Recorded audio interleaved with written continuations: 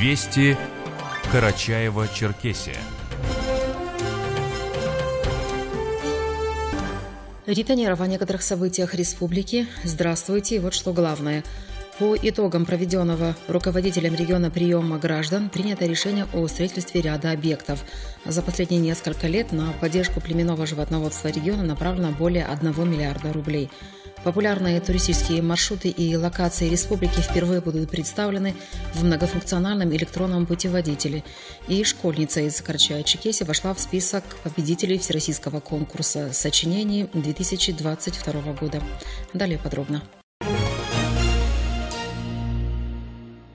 В минувшую пятницу руководитель региона Рашид Тимрезов провел первое заседание оперативного штаба Карачая-Черкесии по реализации мер, предусмотренных указом президента России, связанных с обеспечением безопасности и координацией работы органов государственной власти и правоохранительных структур – органов безопасности, военкомата, погранслужбы, МЧС и ресурсоснабжающих организаций. Глава подчеркнул, что ситуация в республике стабильная. По его словам, Карачая-Чегеся находится в группе регионов, в которых действует режим базовой готовности.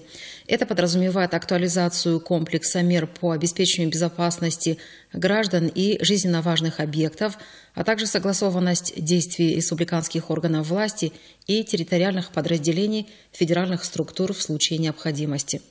В конце прошлой недели руководитель региона провел прием граждан. Вместе с коллегами, членами правительства Карачая-Чекесия обозначили пути решения поднятых вопросов и сроки их завершения.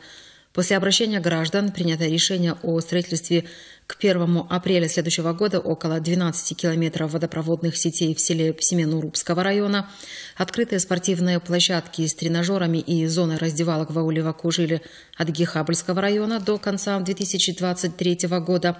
Кроме того, многоквартирный дом по Умара Алиева 20А Черкеска включен в программу капремонта, что предполагает ремонт подъездов и благоустройство придомовой территории. Будет заменена кровля на шатровую и в многоквартирном квартирном доме по улице Красноармейская, 63, республиканской столицы. Вместе с тем, к 1 сентября следующего года будет завершен капитальный ремонт школы в поселке Эльбрусском, а до конца 2024 года будет построена врачебная амбулатория в селе Джага. На прошлой неделе в парламенте республики прошла 41-я сессия шестого созыва. Рассмотрено несколько вопросов, в том числе внесены изменения в региональный закон о главе Карачая-Чекеси в связи с изменением федерального законодательства. Подробности у председателя Комитета по законодательству, государственному строительству и местному самоуправлению Народного собрания Владимира Умалатова. Он вправе вынести предупреждение, объявить выговор главе муниципального образования, главе местной администрации за ненадлежащее исполнение своих обязанностей. Также, если в течение месяца, если они этого не сделают, он может и отрешить их от должности. Глава также вправе обратиться в представительный орган муниципального образования об удалении главы муниципального образования. Это очень существенный механизм. Я думаю, это э, позволит э, и главе республики, и вообще будет польза для населения республики, будет строже и больше ответственности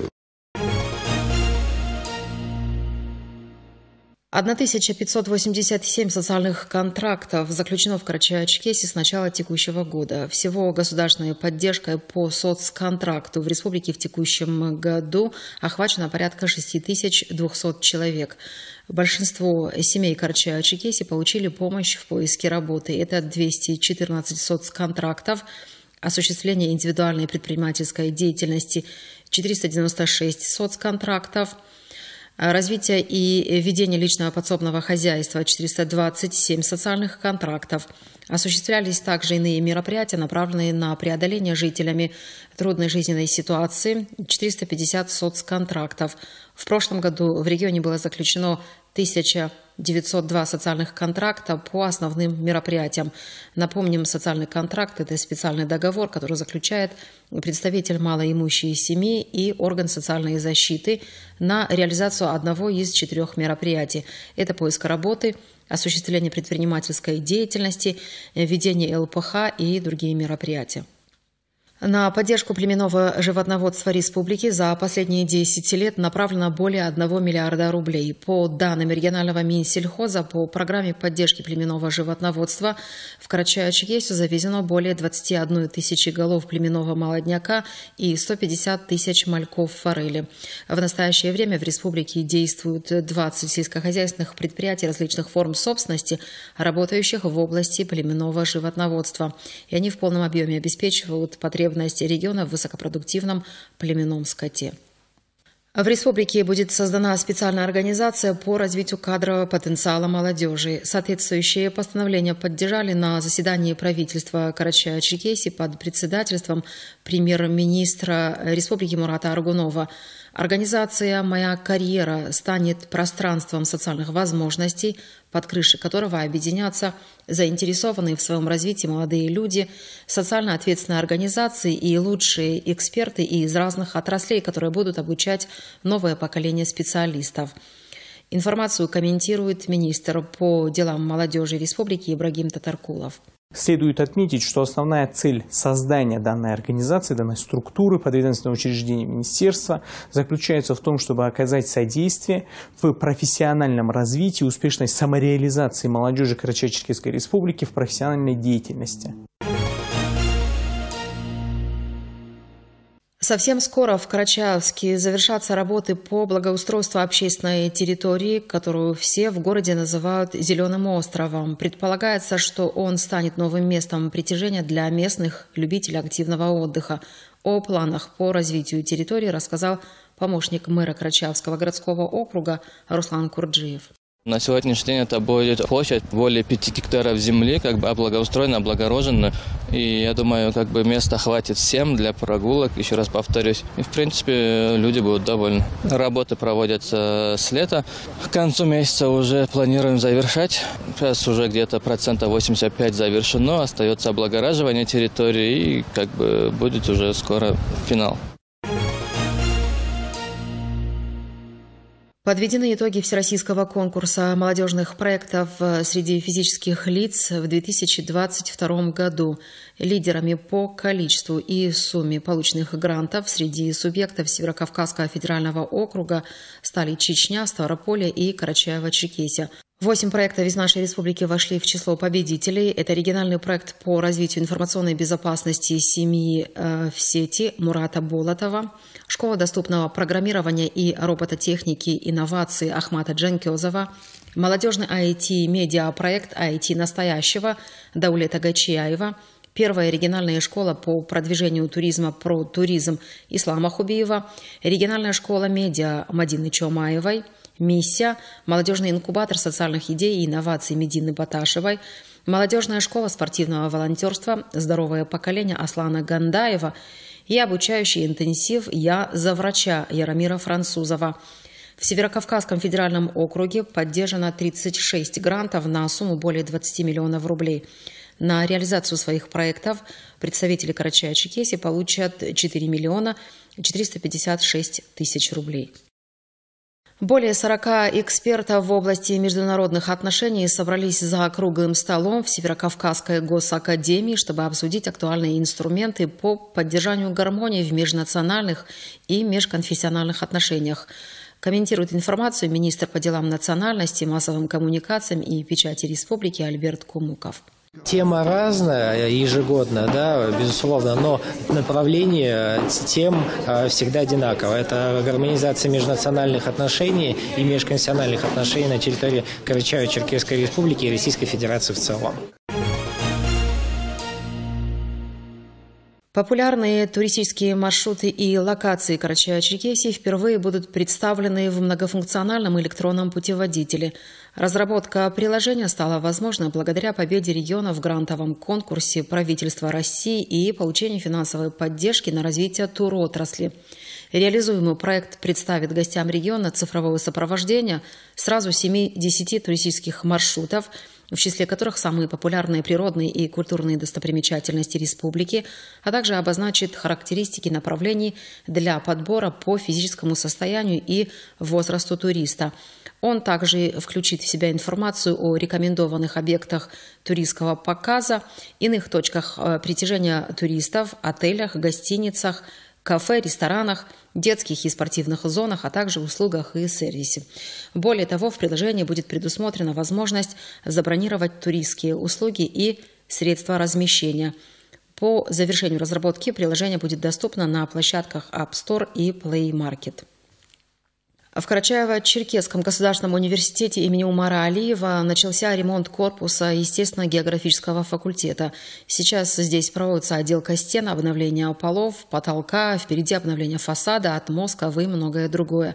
Здание естественно-географического факультета, построенное еще в 30-е годы, сохранит свой исторический облик. В Черкеске, в филиале Ростовского экономического госуниверситета, специалисты Пенсионного фонда республики провели для студентов единый день пенсионной грамотности. Подробности у заместителя управляющего отделением Пенсионного фонда России по Карачаево-Черкесии Ирины Тамбиевой уже в районные учебные заведения, это школы, э, вышли это в Адыгихабльском районе у нас проводились, в Хабесском, ну, практически во всех э, районах республики уже наши специалисты э, выходили на такие уроки и проводили День пенсионной грамотности. А то, что касается дальнейшего, то до конца текущего года наши специалисты еще будут выходить в те учебные заведения, которые остались неохваченными, захваченными, и аналогичные уроки будут проводить э, с нашей молодежью республики.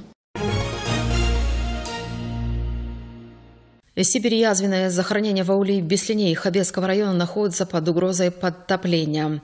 Информацию комментирует государственный инспектор Северокавказского межрегионального управления Россельхознадзора Екатерина Тутыхина.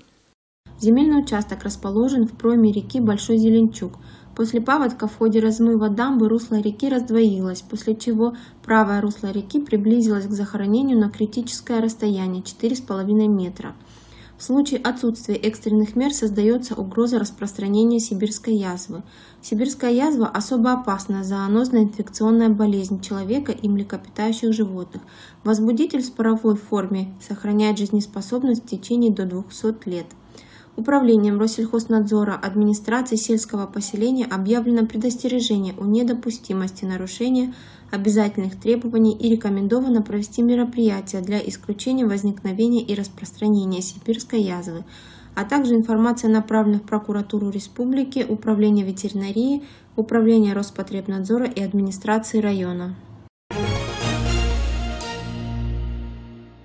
В 17-й гимназии Черкеска открылась парта героя имени генерала-майора летчика аса Канамата Баташева. Она стала 22-й по счету в республиканском центре. Почетное право сидеть за ней будет предоставляться учащимся за успехи в учебе, достижения в спорте и активную общественную работу.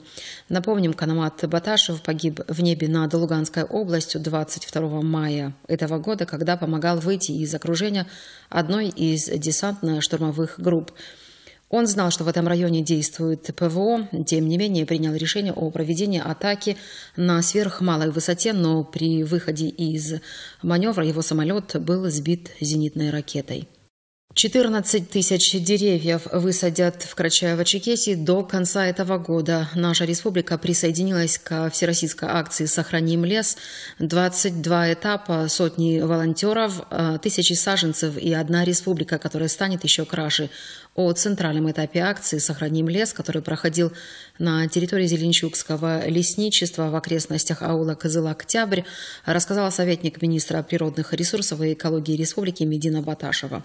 На этом месте в окрестностях аула Красный Октябрь у нас идет центральная акция с участием волонтеров, общественных организаций, органов власти. И мы произвели уже высадку 600 саженцев. На этом же участке будет еще высажено 2500 саженцев различных пород деревьев.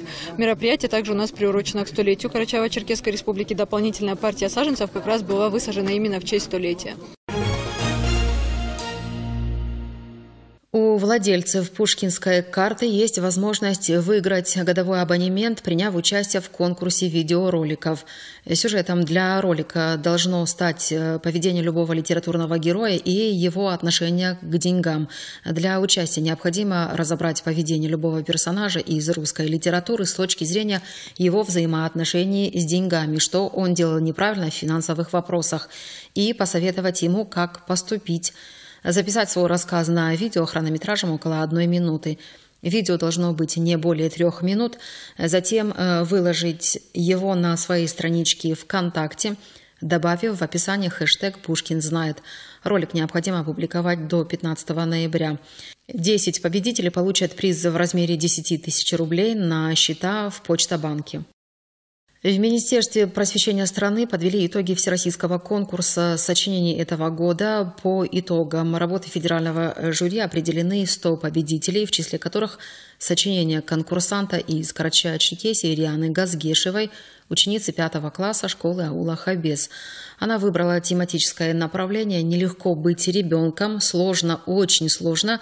Что это вообще значит быть ребенком? Астерида Линдгрена, 2018-2027 годы, десятилетие детства. Рассказ «Непростая история маленькой девочки». Торжественная церемония награждения победителей состоится 2-3 ноября в Москве.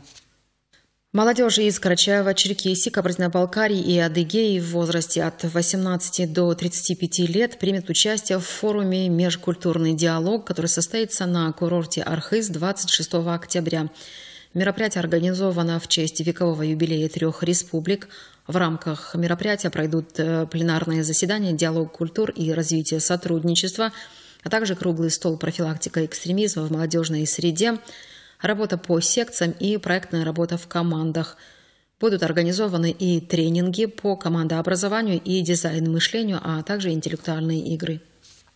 В картинной галерее музея-заповедника Черкеска продолжается ежегодная выставка «В семье единой». Жители и гости города до 30 октября смогут увидеть картины Бориса Атаева, Юрия Карасова, Мухаммеда Хахандукова, Николая Кузнецова, Казбека Французова – Отдельная экспозиция посвящена работам заслуженного художника России Умара Мижева. О творческом пути художника рассказала участникам выставки вдова Талигюль Мижева. Заслуженный художник Российской Федерации, народный художник Карачаева-Черкесии Умар Крамгиевич Мижев был всю свою жизнь беззаветно предан изобразительному искусству. Он стремился всегда осваивать новые техники, э, кроме живописи, графику, афорт, э, гравюру. Работал в области декоративно-прикладного искусства, занимался войлоком, всегда стремился передать свои чувства, мысли через свои произведения. Карачаево-Черкесский филиал Росгидро подарил спортивному комплексу «Мамлюк Черкеска» набор нового спорт-инвентаря. У спортсменов появились новые ракетки, макевары и корт. Теперь тренировки ребят станут еще интереснее, профессиональнее и продуктивнее. Ну и последняя информация. С 28 октября по 1 ноября в республике пройдет передвижной форум «Кавказ-Дом». Порядка 50 человек примут участие в создании нового туристического маршрута. По словам председателя автономной некоммерческой организации «Высокогорный креативный кластер» Денислама Байчорова, они долгое время занимались разработкой пешего маршрута между средневековыми храмами Шаанинским и Сентинским, являющимися популярными туристическими объектами. И первыми гостями, которые пройдут по нему, станут участники форума «Кавказ-Дом», Программой мероприятия предусмотрены состязания по стрельбе из лука, эстафета на сапбордах, а также экскурсии и лекции о курортах республики, местных достопримечательностях и их истории. Кроме того, участники мероприятия займутся благоустройством маршрута и установят элементы навигации. Общая протяженность маршрута составляет порядка 25 километров. На середине пути будет организован привал и развернут палаточный городок – Завершится путь в Сентинском храме, где состоится церемония закрытия форума с вручением сертификатов. Таковы наиболее заметные события республики. Информационный выпуск провела Рита Нирова. На правах рекламы. С 29 октября по 4 декабря в Кисловодском цирке «Тайна пирата». Вы слушали Радио России Карачаева-Черкесия. До новых встреч!